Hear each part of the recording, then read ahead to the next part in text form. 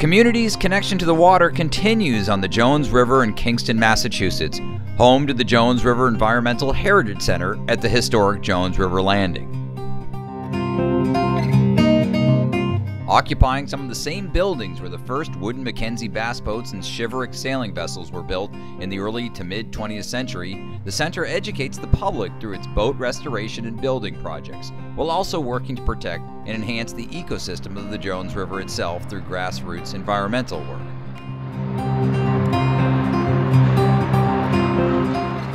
On a recent visit to the center, I had a chance to speak with Director Pine Dubois about the organization's goals.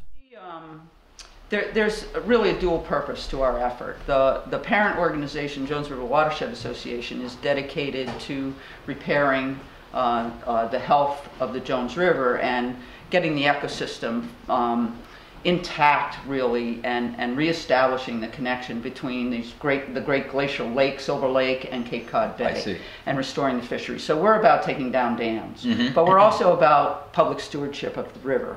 And so what we do at the landing is invite people to be members $50 a year mm-hmm. you can come you can you can park here you can put your canoe and kayak in here participate in all of our programs we have you know, regular potlucks every Friday night during the summer. We mm-hmm. have volunteer nights every Wednesday night. You see that they're repairing one of the old right. shiverick um, uh, uh, uh, sailboats.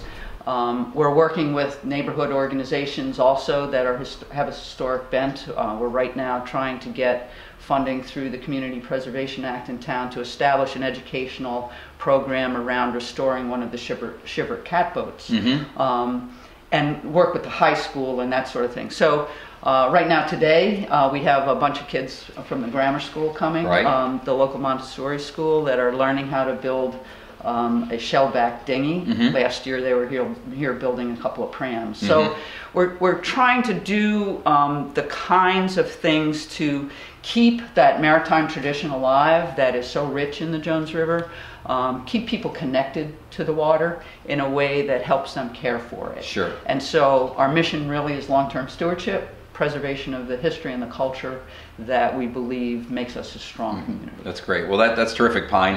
Um, why don't we take a look uh, around the rest sure. of the, the, shop? You can show us some of the other neat historical parts of the building, and also we'll take a look at some of those boats that you're talking about. Great, we can do that. Excellent. Um, okay, so this room uh, we use for a variety of purposes. We work here all week long. We might have our have nothing but computers out um, and the phones going.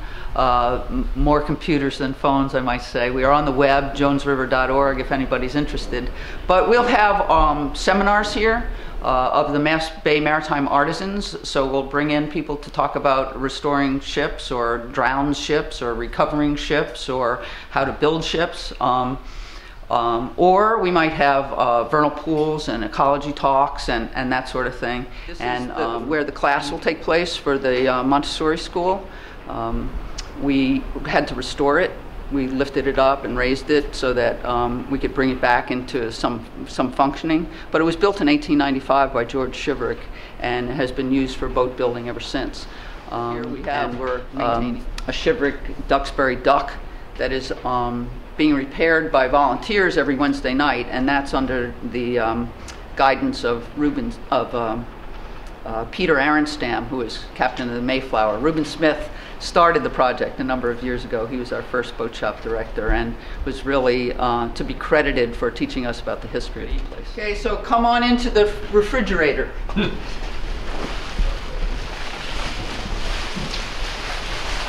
Obviously, we use the sailcloth just to cut down on the heat loss. Maybe you saw inside uh, the double barrel wood stove. That was a stove that was here um, during the time of Myron Lindy, who followed George Shiverick here. So we're talking the 1940s.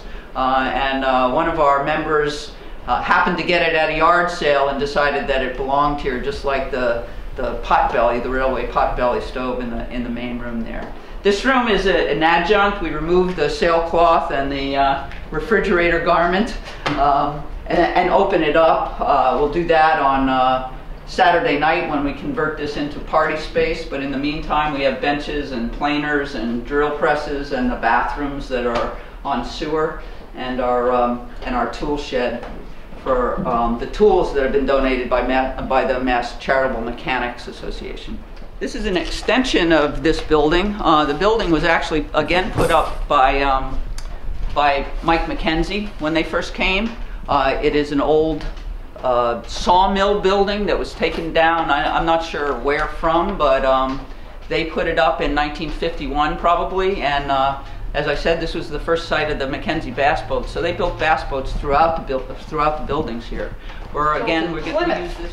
Um, so we're all about local stoves here. Uh, it, it, it just it's on right now, but originally they took uh, they took a piece of iron pipe and uh, fabricated that stove. I'm not sure when, but I'll bet it was. Uh, you know, so unfortunately, you caught us at a bad time when we're uh, shoveling things around and haven't gone to the transfer station yet. But we've got boats on the floor on, on wheelies and boats in the ceiling uh, that, that need to be uh, painted. Um, and we have a boat over here in the corner that is being protected from the uh, rain on the roof uh, coming in. This building um, we haven't had a chance to restore yet, and truthfully, uh, we're thinking that it might be a wiser thing to replace. After my tour of the center, I got a chance to watch a youth boat building session conducted by Jack Pitney, who was teaching some students from the local Montessori school how to build a shell-back dinghy. Got a cap iron, a cutting iron, and a chip breaker. My brother in yesterday, and we glued on the bottom board. And if you come and look at it, you'll notice that I glued it to the midships frame. We're beveling these edges into feather edges. I want you to write Um, down on one of them. And we're trying to make it so that when you place a piece of wood along here, it's going to lay flat against here as well as the top. Um, this is where the I forget what it's called. Dagger The board. dagger dagger board no, goes in. Yeah, the dagger, board. board trunk. Yeah, which is what the dagger board goes in. So when we cut these out, we're gonna put them side by side. Ugh. We're gonna put them side by side, and we're gonna have like other pieces of wood in between those. So it, you can pull the dagger board up and down for when you're sailing and when you're. Because the boat we built last year, uh, over the summer we sailed it, and it didn't sink. That's a good thing. People capsized it, but it did not sink. Even though the kids in this class might not become shipwrights or naval architects, they were learning new skills and forming connections with the area's boating history, something the Jones River Heritage Center offers to anyone interested in stopping by. Learn more by visiting www.jonesriver.org. I'm Tom Richardson for Boating Local. Thanks for watching. And the sides, and then we can start cutting them and constructing them.